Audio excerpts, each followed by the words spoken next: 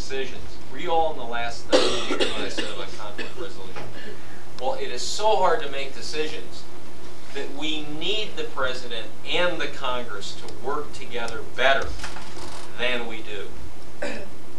Let, let me just take a second for you to better understand how hard it is to get something done. So you know why I, I may be wrong, but why I think what I think. You got 435 people in the House. You got 100 people in the Senate.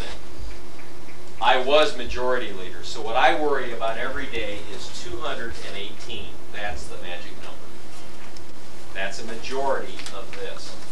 So to get anything done, here's the president over here. The president can't do anything. The president is powerless. The president has to get this and 51 here. Okay? The people that set this country up did not want anybody to have the power. They hated the king. They did not want any one person to have the power. They were jealous of power. So they said you got to get 218 here, 51 here, and then after you pass the bill, then you got to have a conference committee. They have to come up with a an amalgam of what you passed on both sides, then it has to go back here and get 51 and back here and get 218 and then and only then can it go to him or her and they have to sign it. Unbelievable. I mean, it's just, you have to move heaven and earth to get anything done. And if this person is not getting along with these people, it's a disaster. Nothing gets done. When Reagan was president, Bush was president, we controlled the Congress. They were constantly vetoing what we did, and then we tried to override the veto. Then if he if he vetoes it, then you come back, it takes two-thirds of both bodies to override the veto. You got to have 285 votes, and you got to have 66 votes to override the veto. So you can see how hard they made it to get things done. Now let me make it even murkier for you and show you how it's even harder than this. This group of people has a rule in the Senate that says that anybody can talk as long as they want. the filibuster. You've heard of the filibuster. Now you may think that's silly, nobody'd ever do that. Do it all the time.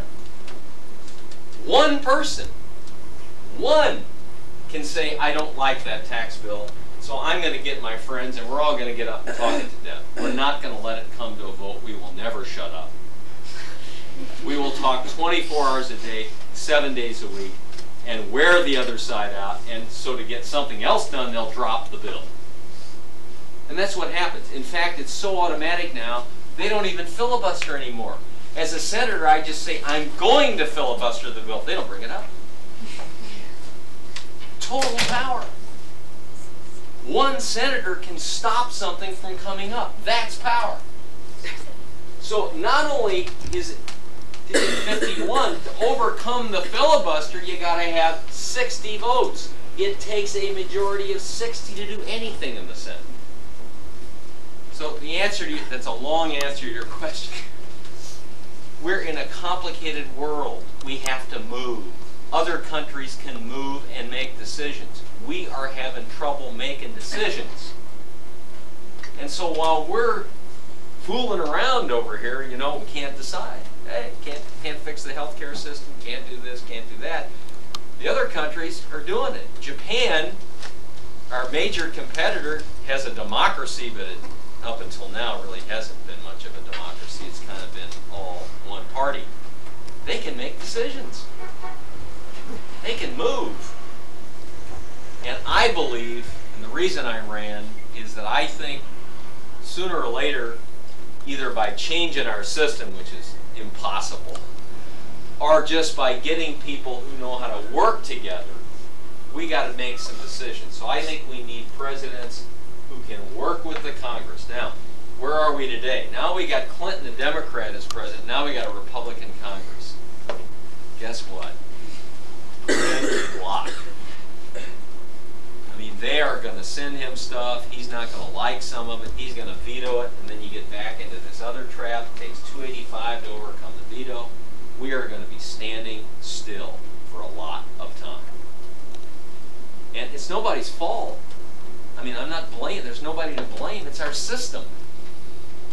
Our forefathers and mothers did not want anybody to have the power, and they did it beyond their wildest imagination mean, they really got it done. And nobody has the power anymore. And our conflict resolution mechanism is